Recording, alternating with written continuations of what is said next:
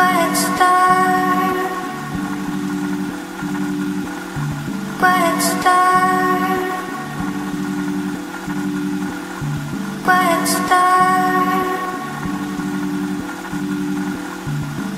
Star.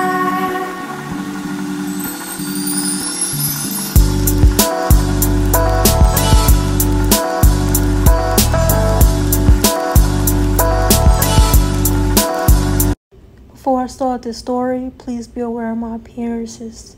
I look pale, my eyes are sunk in due to three blood transfusions. My body wasn't strong enough to survive the surgery without blood being replaced. My surgery and the way I feel right now, my eyes finally went down. They were swollen so big, I didn't know how long that was gonna last, but I thought maybe today that I would go into that on how and start with the beginning story on how um, I ended up with these uh, injections. Okay, this how I started. Um, so I went on to, of course, it's always the internet. The internet is the death of all of us. So I went on to the internet. There was this girl um, in a forum and she was asking do anybody need injections? And I was like yo I contacted her and I messaged her on there and I asked her about the injections. And she um, told me that she would give, give me her number. And then finally we talked to each other. And she was telling me to come to the Bronx to the Bronx to meet her. And I asked her before the girl got inside the home, like who would be the injector. Like, did she have any license? Was she a nurse? Um, she was like told me that she was. Um, she did say that she would. The girl that's coming is a nurse. So I really believed her. I don't know why I believed her. I didn't have that much understanding of the magnitude of the problem I was in. I, I just all I know is I wanted a bigger booty. Um, I'm an adult entertainer, so um, I wanted to, you know, make more money, see if it would help me in my career. Like I was also, uh, I was a model also in Staten Island. Like I modeled for different people. I done a whole lot of stuff with my body, but I thought that maybe if I would, you know, um, I thought that maybe if I would put the time and energy and money invested off into the injections, I would get exactly what I wanted. You know, I'll get more this, more that, more money, more whatever. And don't get me wrong, guys. I got more money. I got a house.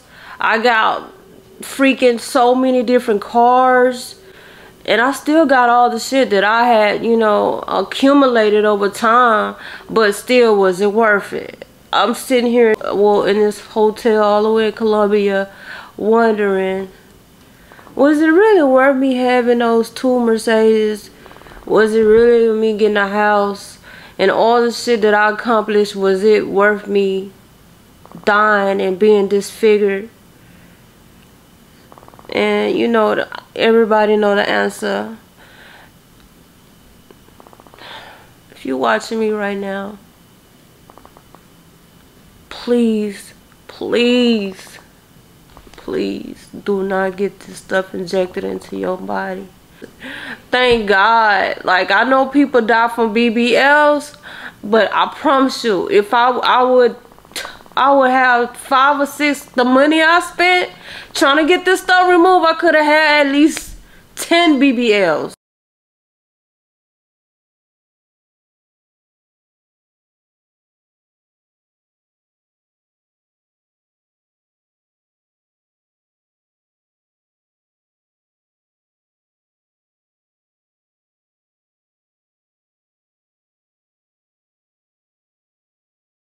This next clip is Dr. Torres explaining, um, examining his work. It was good.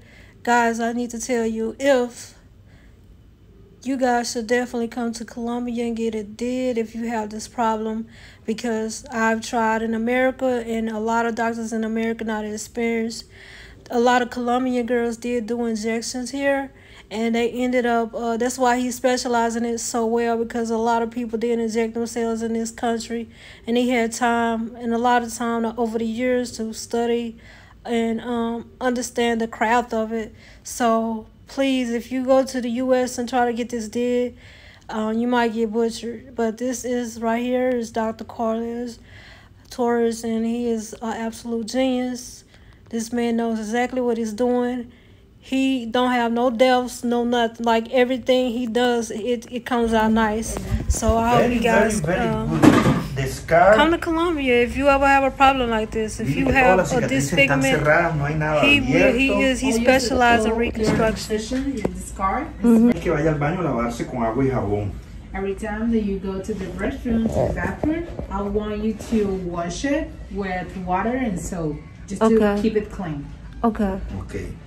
¿Cuánto drenó aquí? Todavía no me he metido con eso porque Oye, parece que está drenando sí, poco. está drenando poco. la. Dejémoslo hasta el lunes, que dile que ya probablemente vamos a retirar el lunes. ¿Qué otros drenes tiene ella? Ya, ese sí, no.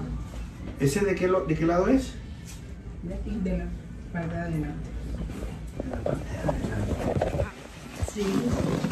Acuérdese que se deben de unir dos, el de aquel lado y el de este lado, que son tercera Ah, ok, ok, ok. Sí, eso Lo todavía lo mantenemos. Sí, dile que entonces probablemente lo vamos a dejar hasta el lunes. We are keeping those. Un escalón, como una pared ahí que quedó súper. The area that looked like a walk in the middle, Mm-hmm. it's gone. Really? Yeah. Eh, very good. Eh, Thank dile, le voy a mostrar la, la foto. Okay, let's head back to the story. You know, when I met her, I was trying to figure out like, what would she get out of this?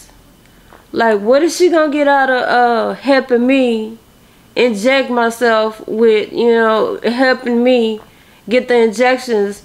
But come to find out, because I had just got my breast did, but I had went to a top doctor. I went to a doctor in Lower Manhattan, over there by like right across the street from Central Park. Like the one of the top plastic surgeons did my boobs. It's just with the BBL, I really didn't understand it at the time. The year was 2015, maybe. And it wasn't that big just yet. So I didn't, you know, I would have went with that. I had the money to do that. The money, I spent like $2,000 just inject, getting these injections. So, but so I was sitting in the living room talking to the girl. She was telling me about how one girl that got ejected by her was in one. Uh, I can't think of what's the name of the video, but she was in videos and stuff, and she was, you know, who was just talking. And I'm like, so what you getting out of this? So she don't say nothing. But when we go into the room, when the girl get there,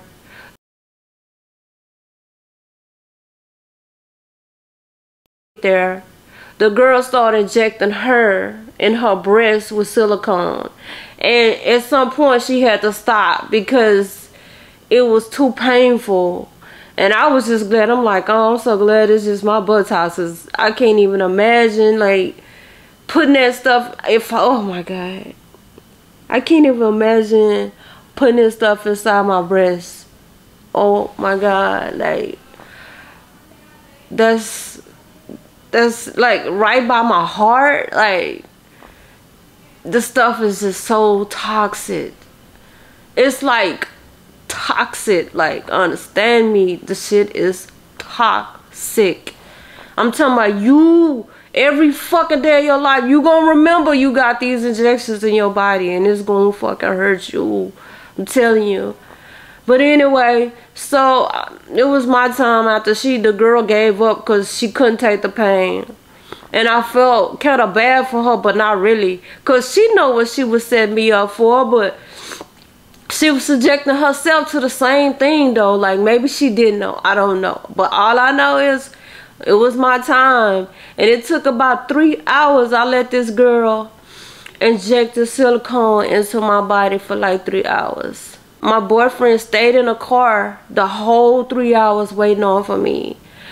He laid me down in the car. He didn't know what was going on. I mean, my boyfriend at the time, he didn't know nothing about no injections. My boyfriend was a white Caucasian male and most of my boyfriends are Cauca- were Caucasians or white. So he really didn't even care about my butt or none of that stuff. All he cared about was me.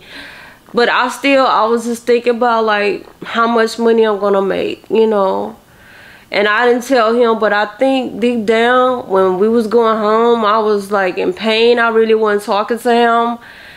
He really wasn't saying nothing to me, but I know that he knew what I had did to myself.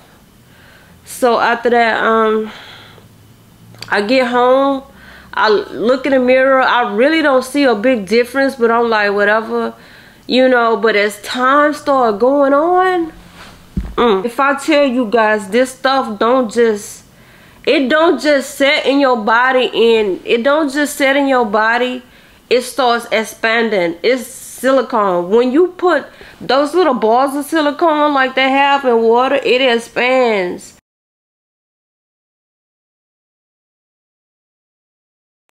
and it started to expand and expand and expand and expand. Like at first I was 150. When that silicone was done with me, I was 201 pounds, and it was all sil it was mostly silicone and the expansion it had did on my body on my buttocks. It just expanded.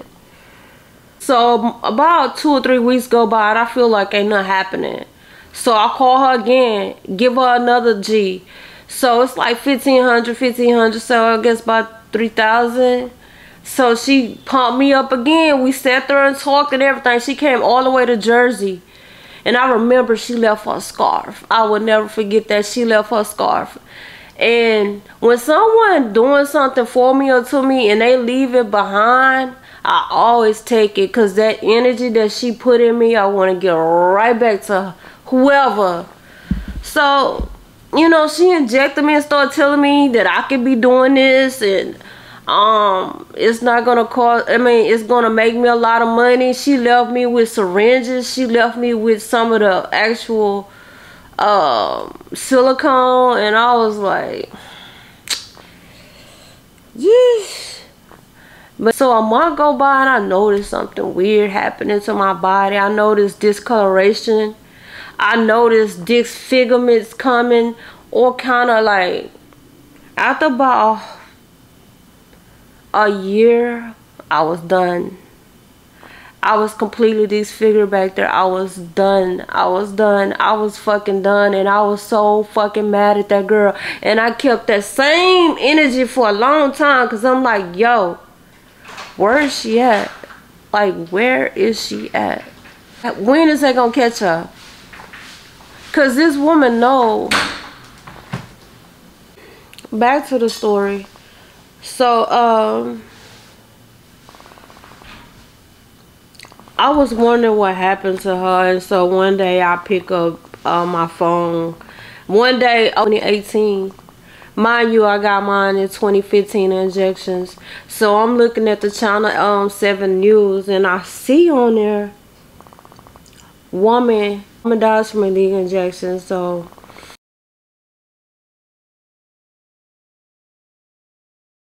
I'm reading a story. The mother of a woman killed by a round of illegal silicone injections was left in the dark by her daughter's death for a month. So this lady had been looking for her daughter for a whole month and couldn't find her.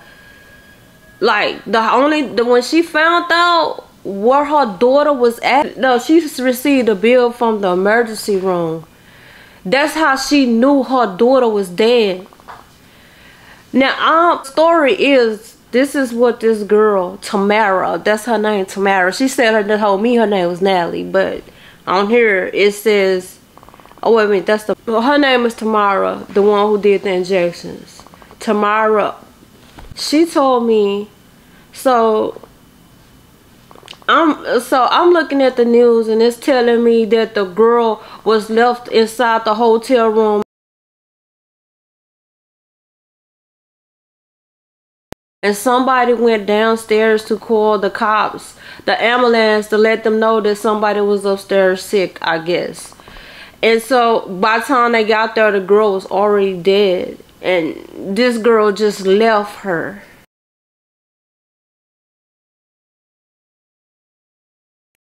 I can't tell you how heartbreaking that was. And then year go by, I'm still wondering why haven't they prosecuted this girl yet? Like she's in jail, yeah.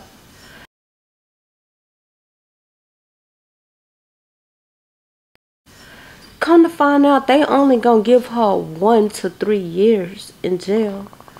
I'm like, one to three years for death?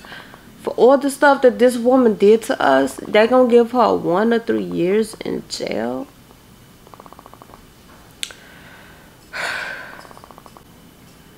Tamara, Mobley, the one who did my injections.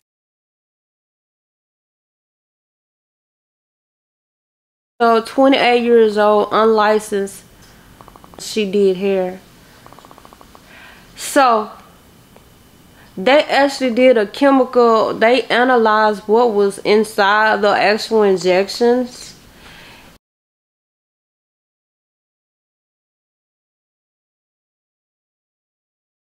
The girl, but the girl that I met that called herself Nelly, she told me that she was a nurse. She had been doing it for a long time. There was no I know it don't take a rocket scientist to figure out don't don't do it. But I'ma just say I felt like I've been in a slow death. Like a slow, like I've been dying slowly. And I know I have. Like at some point my heart started messing up. At some point my lymph node system is messed up. It really affects your lymph nodes a lot. It, when you have something that's not filtering out your lymph nodes, it causes problems. It causes you serious problems. So guys, I'm gonna end this video and um I think my next video might be the final reveal. So I'll let you guys know.